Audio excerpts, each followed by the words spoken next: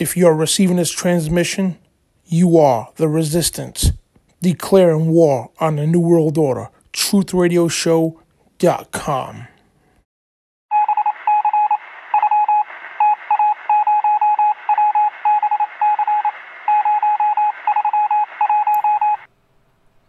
And welcome to TruthRadioShow.com and welcome to this in-depth comprehensive study of the Bible, 2 Corinthians chapter 13.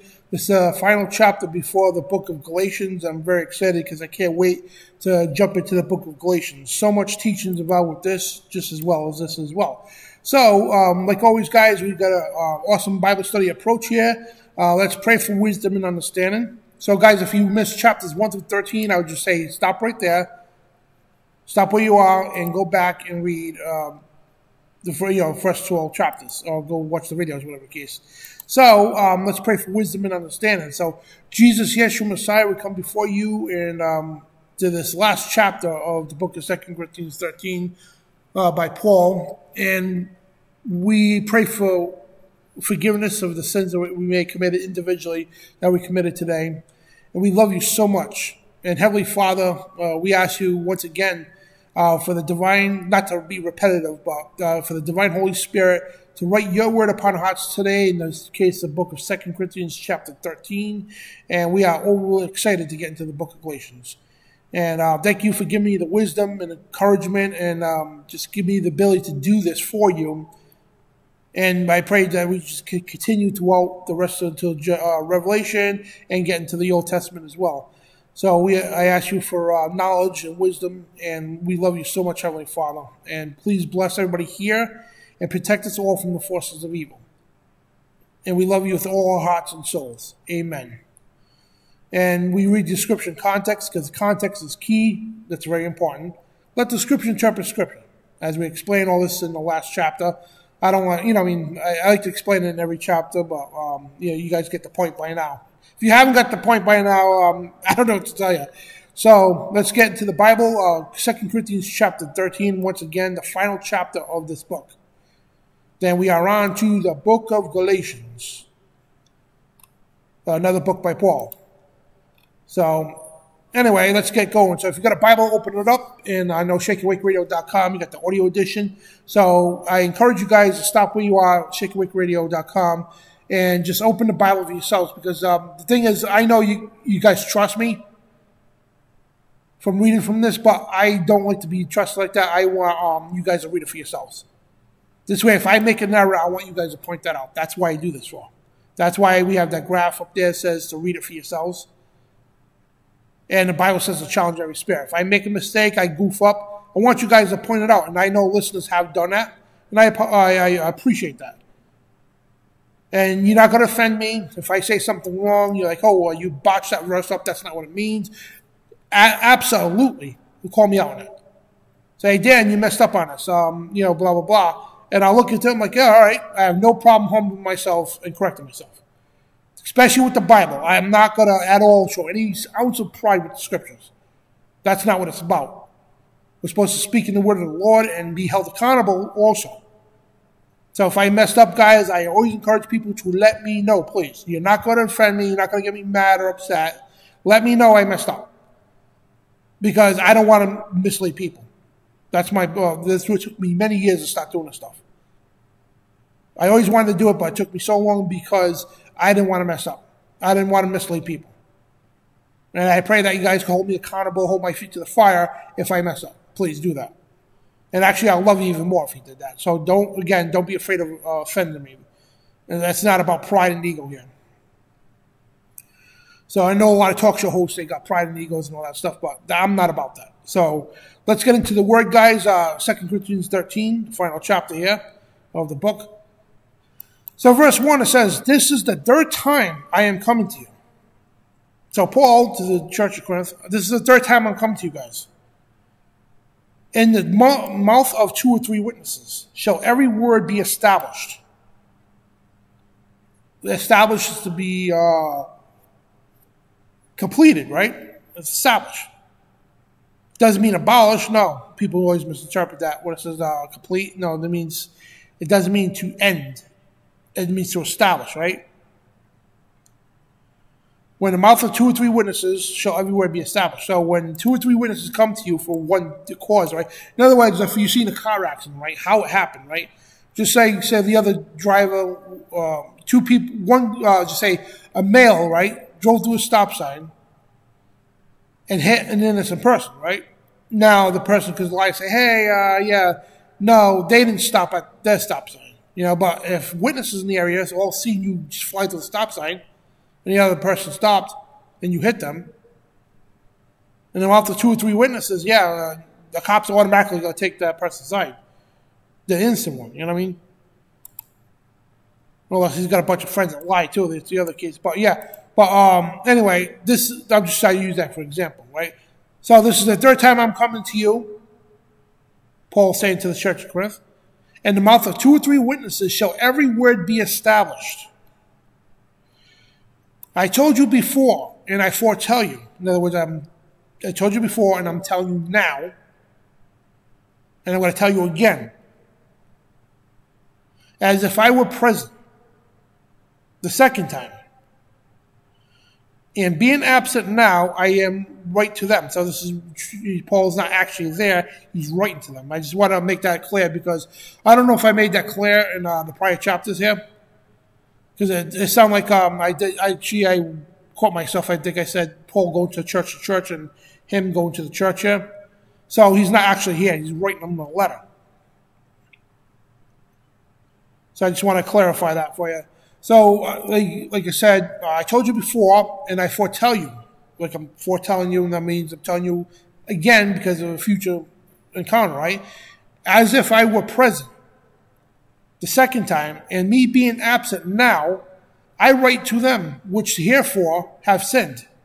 Remember the last chapter we talked about, if you recall? He was talking about sexual uh, sins going on there. about sin, people sin already and they didn't repent of uncleanness, fornication, lasciviousness, in other words, showing signs and, uh, like we point here, right? Filled or showing sexual desire, which they have committed, right? So this is Paul continuing on and finishing this letter. Again, I told you before, and I tell, I'm going to tell you again. That's what he's saying. That's what foretell means. I told you before, and I will tell you again, as if I were present among you the second time. But being absent now, I write to them which herefore have sinned, and to all others, that if I come here again, okay, I will not spare. So this is Paul is like setting things straight. He's like really livid, right? Because there's stuff going on in the church. He wrote them this letter, right, to say, listen, knock the stuff off. He goes, if I have to come here again, he's like, he's like, remember the last chapter we talked about, uh, you know, like the parent thing, right? Like we're here to talk about the parents, right? Like a parent with a child, right? This is Paul again. Whoops, hold on a second. Where am I? All right, yeah. this is Paul again. Like it's like your mom telling you or your father when you're a kid. If I have to come in this bedroom again, and you guys are yelling or screaming, like, uh, you know, it's time to go to bed, get in the bed. But if I have to come in here again, there's got to be problems, right? That's the same thing your parents telling you, right? So Paul's saying, hey, people here have sinned, they have not uh, repented. Just because I'm not here, okay? He's saying this, right? And I told you before, and I'm going to tell you again, as if I were present, if I was here. Act like I was here. The second time, and being absent now, I write to them, which herefore have sinned, and to all the other, that if I come here again, okay, I will not spare. Since you seek to proof of Christ speaking in me, which to you word, you word is not weak, but is mighty in you. So he's saying, since you people seek proof that Christ speaks through me, which to you, you word, is not weak, but mighty in you. For though he was crucified through weakness, and again, I, I want to point out, he's not saying Jesus is weak in that, in that sense. His weakness is like basically uh, let himself be crucified, showing weakness to show humbleness. So don't take that out of context, right? For through he was crucified, talk about Jesus, was crucified through weakness. Yet he lived by the power of God. For we all so, for we also are weak in him. And again, it's not saying like weak in that tense, right? But weak in the humbleness and all that, right? But we shall live with him by the power of God toward you. So I forget what he's saying here, right? And again, if uh, like I say all the time, if you don't get this, guys, um, you know, pause the video, go in the comment section, and yeah, I know if during the premiere you can't do that right away, but when the video is over, go into the comment section. Hey, uh, verse four, could you explain that better, or whatever the case? You know what I mean? So always do that, guys. So he's telling them, examine yourselves, look at yourselves, right? Validate yourselves, whether you be in the faith. Prove your own selves. He said, prove to your own selves. Know ye not your own selves? He said, do you, not, do you guys not know your own selves? How that Jesus Christ is in you, except you be reprobates?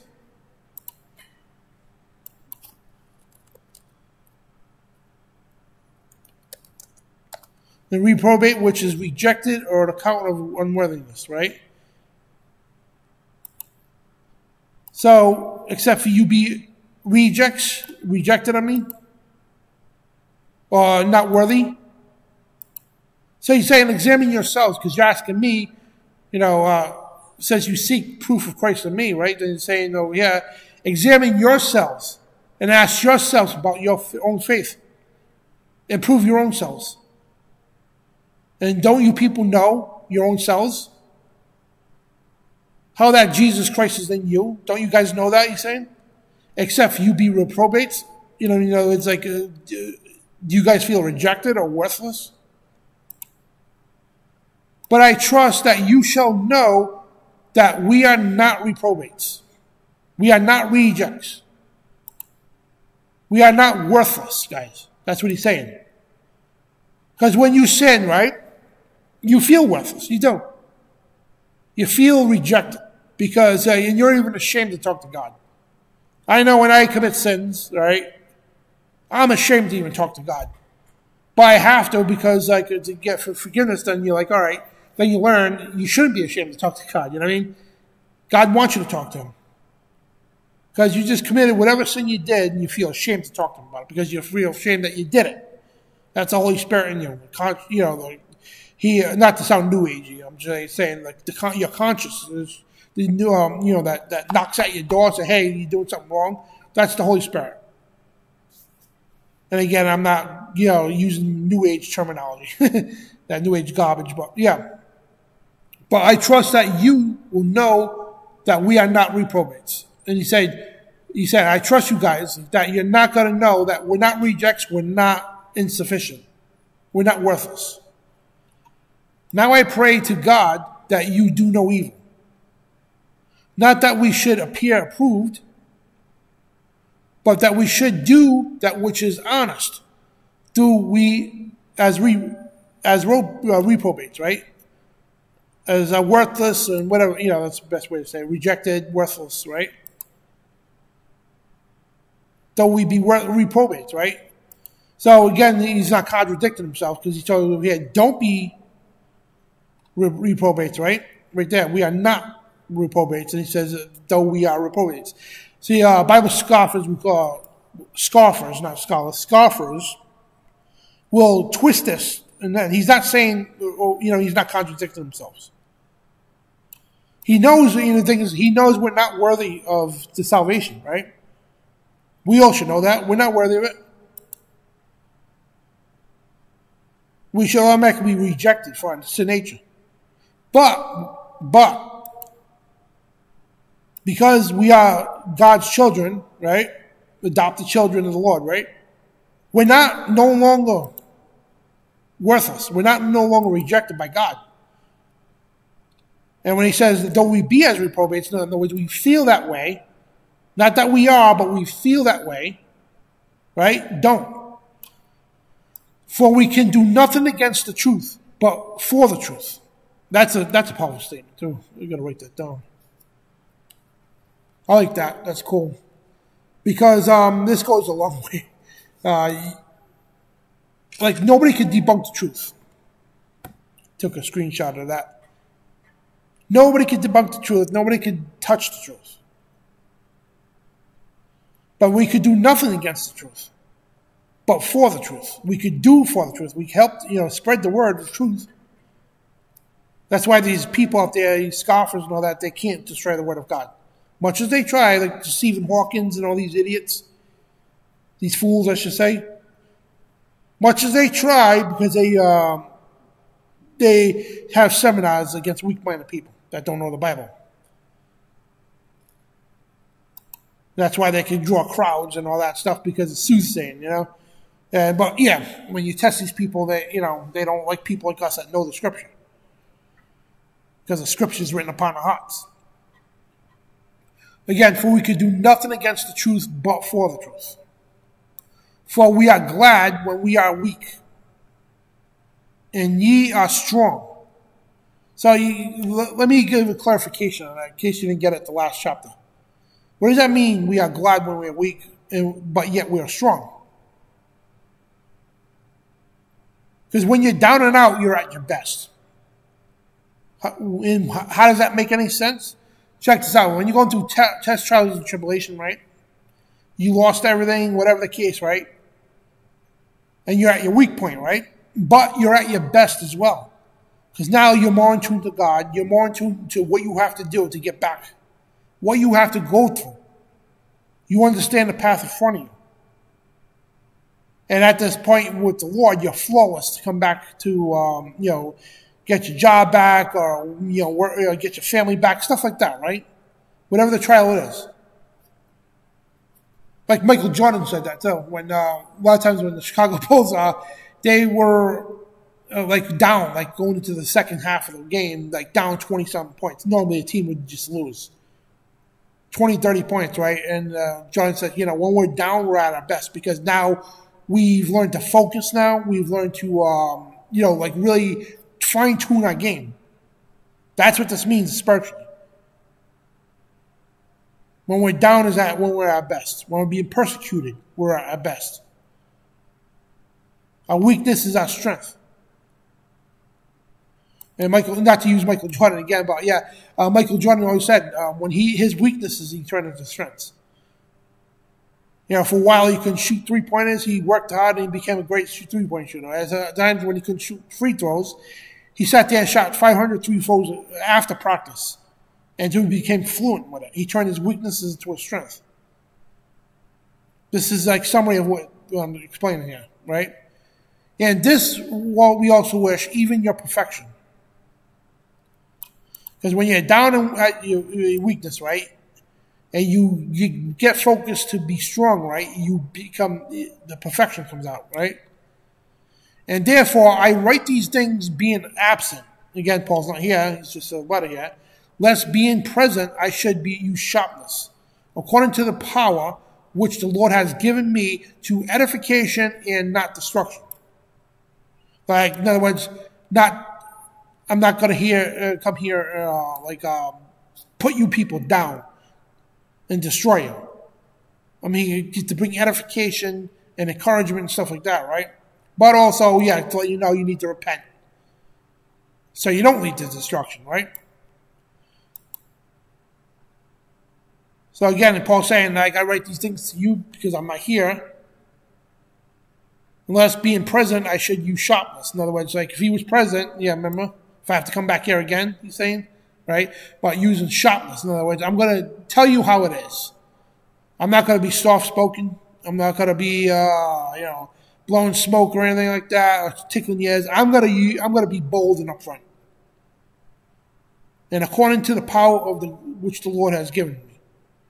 So, if you notice that about Paul, uh, Paul when he spoke to people in person, he told you how it is. He didn't like beat around the bush, try to uh, sugarcoat things. He told you exactly how it is, and that's what you all need to learn, guys. Because our parents growing up, if they didn't tell us how it is, hey, God knows how we would have turned out, right? That's why he used um, the parent thing, uh, you know, example in the last chapter. Finally, brethren, farewell. Be perfect, be of good comfort, be of one mind, which I mean be of one mind. In other words, the whole church here, be united. Be of one mind of the scripture. Don't let there be division, right? Live in peace. Right? Again, be good comfort, be of one mind, like by the scriptures, by the gospel. Like we're all today, we're all of one mind right now because we're reading the book of Second Corinthians chapter 13. We're all of one mind right now, right? We're in peace right now, right? Be keep it that way. And the God of love and peace shall be with you. That's our Heavenly Father. Greet one another with the holy kiss. And uh, holy, holy kiss is basically um, uh, it's a tradition. Uh, holy kiss is basically it's a kiss on the cheek. Sometimes when you, you, know, you kiss uh, on both cheeks. And all saints salute you. And all the saints salute you, right? The saints are the believers. The saints are um, the people who also died in Christ too. You are the saint. We are all saints. You don't have to be uh, granted a saint by the Catholic Church or anything like that. No, that's not how it works. They don't have the power to grant anybody a saint or patron saints or any of that garbage. The saint is anybody. And that's the thing with the Catholic Church, so they make you feel inferior. Or you have to spend time in purgatory while saints go right to heaven. And you got to wait in purgatory, right? Which is unbiblical. It's not even biblical. And so you become a saint and you have to sit in purgatory and all go through these rituals. No, that's not how it works. A saint is anyone who believes in Jesus.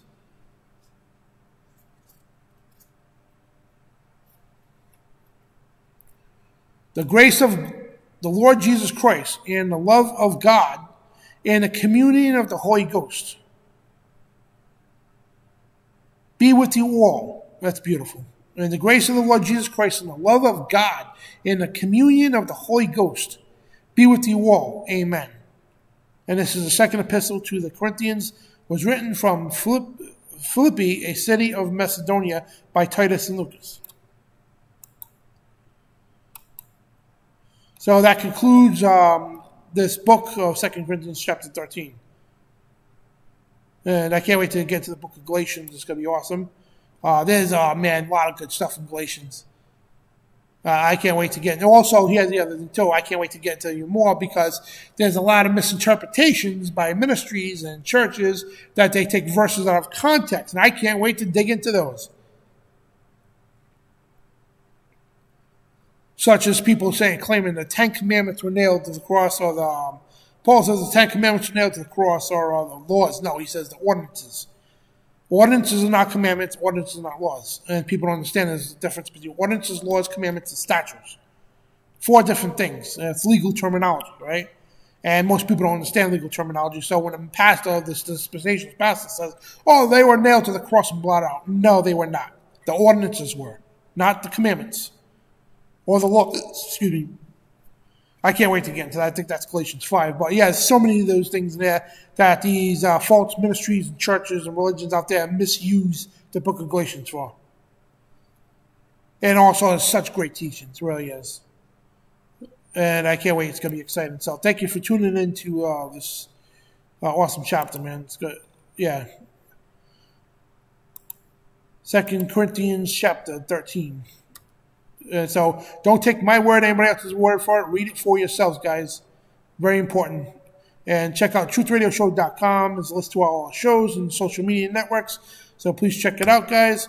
And uh, again, thank you for tuning in to this in-depth comprehensive study of the Bible, Second Corinthians chapter 13. And we will see you, God willing, for Galatians chapter 1.